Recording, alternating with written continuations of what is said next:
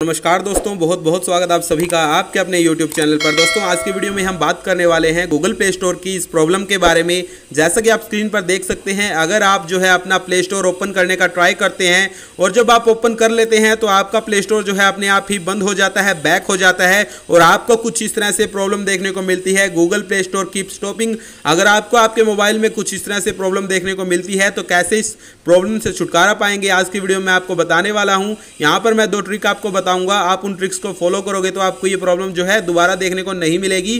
तो गाइज़ जान लेते हैं इस प्रॉब्लम से छुटकारा पाने के लिए मैं क्या करना होगा। अगर आपको वीडियो अच्छी लगे तो लाइक कर देना और चैनल को सब्सक्राइब कर देना। तो गाइज़ सबसे पहले आपको करना क्या है, मैं आपको बता देता हूँ। यहाँ से हम चलते हैं बैक बैक जाने के बाद यहाँ पर आपको डायरेक्टली अपने मोबाइल की सेटिंग में आ जाना है। सेटिंग में आने के बाद आपको यहाँ पर स्क्रॉल करके नीचे आ रहा है और यहाँ पर आपको देखने को मिलेगा ऐप्स का ऑप्शन और गाइज़ एक और बात बता दूँ मैं, यहाँ पर मेरे पास एमआई का मोबाइल है, आपके पास किसी भी कंपनी का मोबाइल हो, कोई फ़र्क नहीं पड़ता, यहाँ पर जो है आपको सेम प्रोसीजर करना होगा। यहाँ पर आपके मोबाइल में सेटिंग थोड़ी बहुत अलग हो सकती हैं बट आपको काम सेम करना होगा। यहाँ पर मैनेज ऐप्स में आ जाना है। मैनेज ऐप्स में आने के बाद यहाँ पर आपको जो है जितनी भी एप्लीकेशन होंगी देखने को मिल जाएँगी आपके मोबाइल की।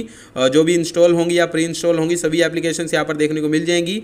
आपको सबसे पहले यहाँ पर जो है सर्च करना होगा। मैं कर लेता हूँ। गूगल प्ले सर्विस देख सकते हैं, यहाँ पर आ चुका है। गूगल प्ले सर्विस आपको सर्च करना है। गूगल प्ले सर्विस पर क्लिक करने के बाद यहाँ पर आपको ऑप्शन मिलेगा फोर स्टॉप का। तो यहाँ पर आप फोर स्टॉप कर दीजिए इसको।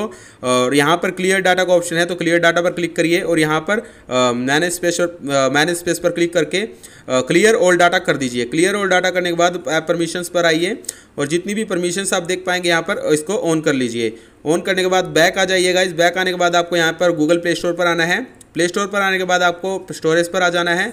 और यहाँ पर इससे पहले आप एक और काम करिएगा यहाँ पर अनइंस्टॉल अपडेट्स जो है इसको आ, कर लीजिएगा। अनइंस्टॉल अपडेट पर क्लिक करके ओके कर दीजिएगा। ओके करने के बाद जो है बैक आइए। और यहाँ पर आप स्टोरेज पर आने के बाद जो है क्लियर ओल्ड डाटा यहाँ पर देख सकते हैं। क्लियर ओल्ड डाटा कर दीजिए। बैक आइए। बैक आने के बाद ऐप परमिशंस पर आइए। ऐप परमिशंस पर आने के बाद जितनी भी आपकी परमिशंस होंगी बंद होगी तो इनको ऑन कर दीजिए। ऑन करने के बाद बैक आ जाइए। बैक आने के बाद आप देखिएगा आपकी जो प्ले स्टोर की प्रॉब्लम है गाइज़ वो सॉल्व हो जाएगी। फिर से आपको ये प्रॉब्लम देखने को नहीं मिलेगी आपके मोबाइल में। होप आपको सब कुछ समझ आ गया है। वीडियो अच्छी लगी तो लाइक कर देना और चैनल को सब्सक्राइब कर देना। मिलते हैं नेक्स्ट वीडियो में। Till then bye take care love you all